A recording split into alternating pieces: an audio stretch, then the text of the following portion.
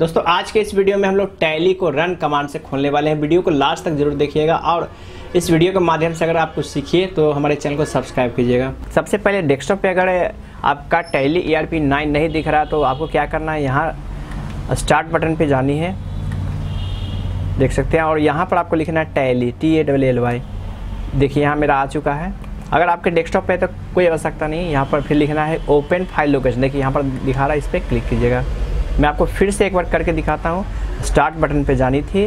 Okay और यहाँ लिखना था टैली आ चुका है। और ऊपर वाला जो आ रहा है, इस पर राइट क्लिक करेंगे। ओपन फ़ाइल लोकेशन फिर देखिए यहाँ टैली आर पी नाइन इस पर राइट क्लिक करनी है। कॉपी करनी है। क्या करना है? कॉपी सेंड नहीं करना, कुछ नहीं करना। सिर्फ़ कॉपी कीजिए, यहाँ पेस्ट कर दीजिएगा। पहला स्टेप हो गया। और एक सब्सक्राइब का बटन होगा। और टैली संबंधित Microsoft Excel Word okay mobile printer computer से संबंधित कोई फॉल्ट है तो ज़रूर कमेंट कीजिए। कोई भी ऐप्स खोलने में आपको प्रॉब्लम हो रहा है रन कमांड से तो आपके लिए स्पेशल वीडियो चलिए तो यहाँ पर राइट क्लिक करनी है और यहाँ रीनेम पे क्लिक कर लेनी है। और यहाँ आप अपना नाम भी दे सकते हैं, मोहन सोहन गीता। हम, मैं टैली ही रखूँगा ओके क्योंकि ये मेरे लिए आसान रहेगा। उसके बाद आपको विंडो आर प्रेस करनी है और यहाँ देख सकते हैं आपको क्या लिखनी है। सी मतलब बार बार दिखा दूँ सी कॉलन स्लैश विंडोज़ फिर से आपको क्या करनी है, पहले से लिख रखा था।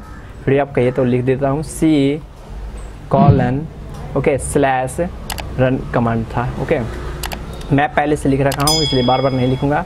देखिए सी कॉलन स्लैश विंडोज़ इस पर क्लिक करके ओके करनी थी। यहाँ पर ओके करने के बाद इसे कॉपी करनी है। क्या करनी है? कॉपी देख सकते हैं, मैं इसे कॉपी करता हूँ। इसे मैं बड़ा कर लूँ और एक प्यारा सा बटन सब्सक्राइब का होगा, उसे सब्सक्राइब कर लीजिए। और कोई भी प्रॉब्लम है तो ज़रूर कमेंट कीजिए। देखिए, यहाँ पर रिप्लेस डेस्टिनेशन पे क्लिक करने लिए है। यस कंटिन्यू कर देनी है। थोड़ा सा समय लगेगा और आपका ये अब चलिए। अब यहाँ पे विंडो आर करता हूँ। यहाँ लिखता हूँ टैली देखिए, मेरा टैली आर पी नाइन खुलने वाला है।